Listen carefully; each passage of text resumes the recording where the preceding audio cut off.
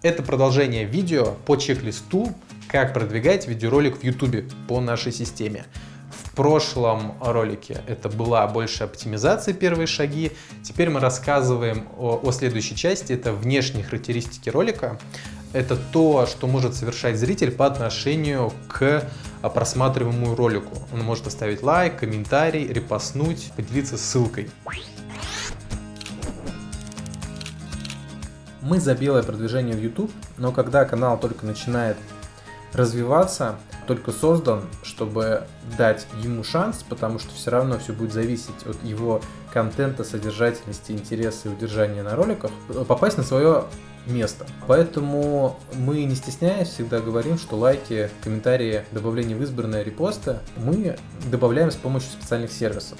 В рамках данного видео я о них не буду рассказывать. Если вам будет интересно, сделаем отдельный видеоролик. Что касается просмотров, то в там, 95% случаев это э, реальные живые просмотры и чаще всего через рекламу в Google AdWords. Иногда делаем видеопосевы, но видеопосевы больше подходят для коротких рекламных роликов или специальных роликов, которые под приролы заточены. Что касается комментариев, заранее создается список из 100-200 комментариев, пишет копирайтер под данную нишу, под тему данного канала, где часть из них это вопросы, на которые потом менеджер э, канала может отвечать по подготовленному клиентам списку ответов стандартных на эти э, вопросы. Также часть это общие комментарии по теме, часть это негатив или позитив, и часть это какие-то бредовые, странные, неадекватные комментарии, которые тоже присутствуют.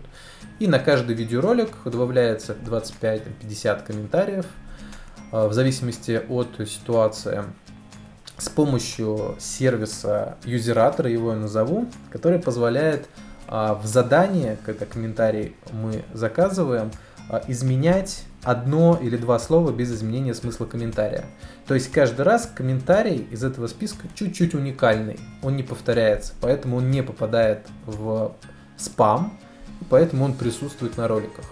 А такая система позволяет дешевле работать с комментариями на первом этапе, потом возникают уже органические комментарии, и э, мы потихонечку все меньше и меньше используем комментарии с данного списка.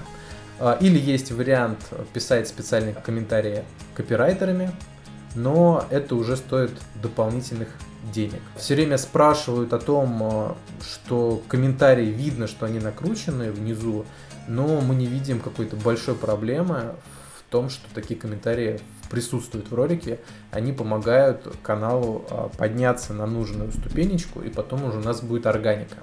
Что касается лайков избранного и репостов, а, это отдельный сервис. А, также есть сервис для социальной активности. То есть, когда мы можем давать задание человеку, например, посмотреть ролик и переключиться в конечной заставке и перейти на другой ролик. И тоже посмотреть его до конца. YouTube смотрит на то, что есть пользователи, которые смотрят несколько роликов на канале. Или, например, посмотреть ролик до конца, подписаться на канал. Чтобы получить обратные ссылки на ролик, идут публикации на видеохостинге. Раньше их было много, сейчас э, мы используем три основных, которые э, какой-то все-таки имеют вес. То есть э, с них, во-первых, иногда идут клики, переходы по ссылке на YouTube канал и а, они сами по себе имеют определенный вес, и обратная ссылка с них немножко поднимает вес ролика нашего на YouTube. К сожалению, Vimeo в последнее время очень-очень глючит, потому что он заточен под э, профессионалов, э, то есть под версию платную Pro, и когда в бесплатной версии начинают выкладывать ролики, там, дублирующие YouTube канал, очень часто начинают канал отключать, замораживать и, в общем, какие-то палки в колеса ставить. Вот. Но остается у нас сейчас Рутуб и PlayMD. Для того, чтобы получить обратные ссылки, также а, идет встраивание, например, на блок сайта или в определенные страницы сайта а, клиента.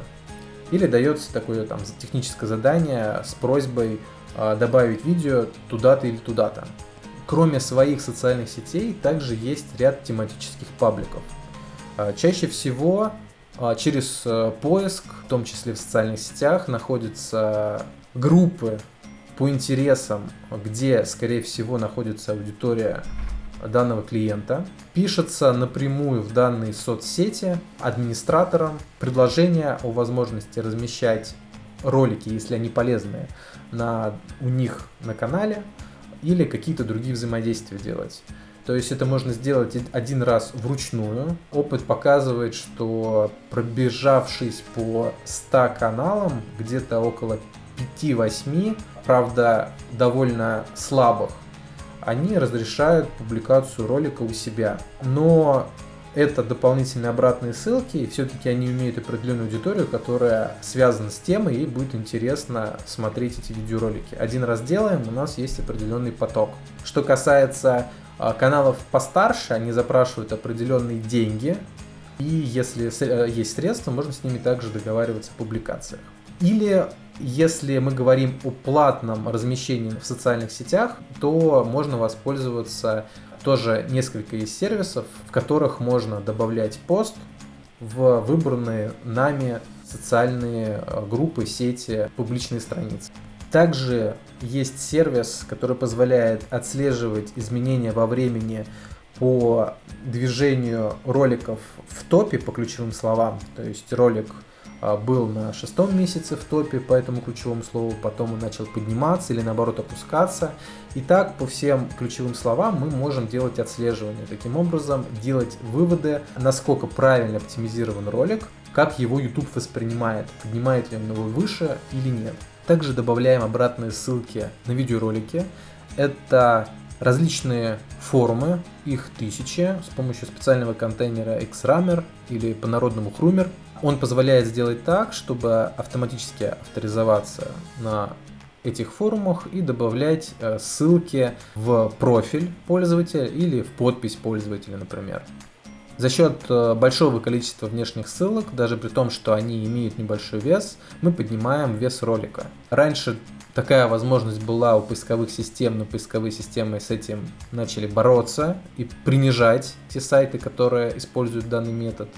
В YouTube Пока что он работает, поэтому мы его используем. После совершения данных действий э, менеджер также отвечает на комментарии ролика. Если с клиентом э, была договоренность, он делает это или по инструкции от клиента с определенными пожеланиями, или самостоятельно, или по используя стандартные ответы на список тех комментариев, которые э, мы добавляли с помощью сервиса. Чтобы закрыть наш чек-лист, также рассказываем о том, что делает таргетолог.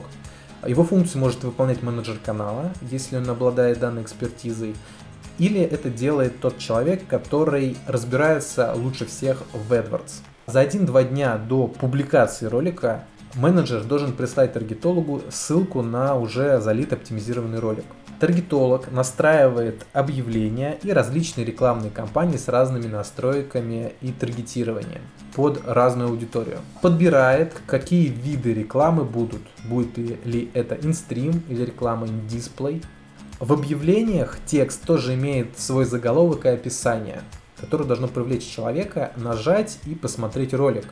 И стратег в начале следит за тем, чтобы данный текст максимально привлекал внимание. Таргетолог в принципе в копирайтинге должен разбираться в том, как лучше а, писать данный текст, но стратег просто лучше разбирается в специфике компании, для которого делается YouTube. После публикации ролика в течение 2, 5, 7 дней, когда идет э, рекламная кампания, таргетолог постоянно следит за тем, чтобы деньги не сливались впустую. У нас, например, поставлено там 200-300 рублей в день или 1000 рублей в день. Он смотрит за эффективностью рекламных кампаний и, например, отключает те, которые на данном ролике плохо заходят. Таким образом, улучшая а, или уменьшая, например, стоимость подписчика или перехода на сайт, а, то есть оптимизируя рекламную кампанию по ходу дела. После проведения рекламной кампании таргетолог составляет таблицу в качестве отчета и скидывает скрины из AdWords с э, всеми цифрами и пишет свои выводы, рекомендации, как он считает, что он будет изменять в дальнейших рекламных кампаниях, как прошла данная. А, стратег а, смотрит данный отчет и также вместе с таргетологом решают, будет ли какая-то коррекция и какое направление в движении настройки AdWords будет дальше. Вот так выглядит одна из таблиц, которую делает в отчете таргетолог. Ее задача с помощью цифр основных понять, какие рекламные кампании работали лучше, какие хуже. И также понять, сколько данный видеоролик по рекламной кампании выдал стоимость подписчика, взаимодействия, клика, сколько всего было потрачено. Таким образом, продвигая ролики в конце отчетного периода, например, месяца, таргетолог обобщает информацию с разных видеороликов в общую таблицу отчет. Далее менеджер канала собирает скрины, всю статистику, делает общий отчет в Word файле, о котором мы можем рассказать также в отдельном ролике. И стратег смотрит э, весь этот отчет, делает выводы, дает задачи и задания, которые необходимы для коррекции стратегии. В следующем видео я покажу еще один чек-лист по оптимизации настройки канала в целом. То есть то, что мы делаем по настройке оптимизации. Первое, когда канал нулевой у клиента, или когда канал уже имеет определенный вес, на нем уже есть какие-то видеоролики а, и пару тысяч подписчиков. И напоминаю, вы можете получить э, данные чек-листы, если скинете сообщение мне в личку ВКонтакте или в Фейсбуке. Ссылки есть в описании.